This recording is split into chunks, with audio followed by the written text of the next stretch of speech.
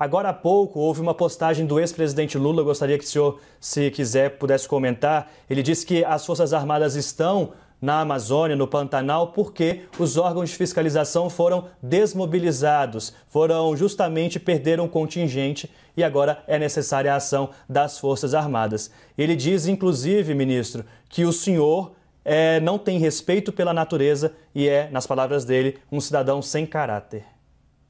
Bom, quem está condenado por corrupção e estava preso até ontem é o ex-presidente Lula. Quem roubou o Brasil e com isso nós ficamos sem dinheiro para investir tanto na infraestrutura quanto nas equipes, lembrando que foi o governo dele e da, do poste dele, que é a presidente Dilma, que nos legou uma estrutura completamente desmontada, quer seja pela incompetência, pela corrupção ou pela falta de caráter que essa, uh, esse grupo que dominava o governo nos deixou.